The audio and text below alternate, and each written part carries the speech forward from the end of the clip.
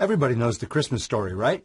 Uh, it's about shepherds and wise men and angels and a manger and Bethlehem and a baby and Joseph and Mary.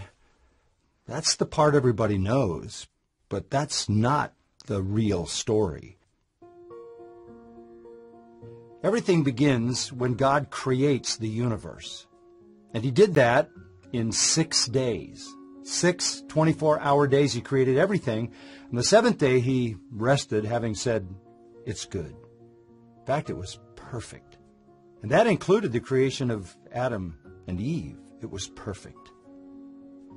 It wasn't very long, however, until sin entered the world. And it entered in the garden when Eve was tempted and Adam followed her temptation.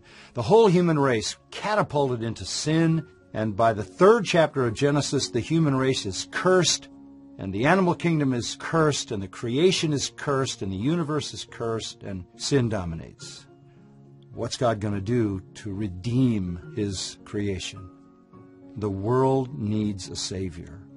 There has to be somebody who can come to rescue man from his sin. And that somebody is the Son of God who's born in Bethlehem at Christmas.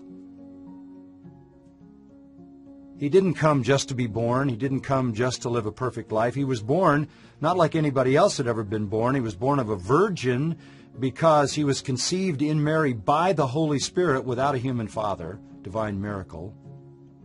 He lived an absolutely sinless life. The Bible says he was holy harmless, and undefiled and separate from sinners.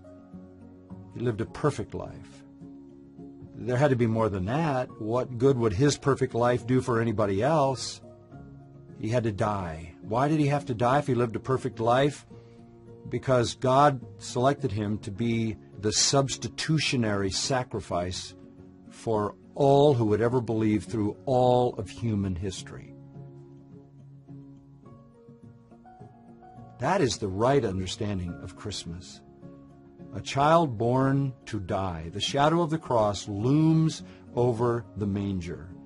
And when you understand that, you understand Christmas. And oh, by the way, after he was crucified, and after he received the full judgment for all the sins of all who would ever believe, God raised him from the dead to vindicate and validate the efficacy, the efficiency of his sacrifice.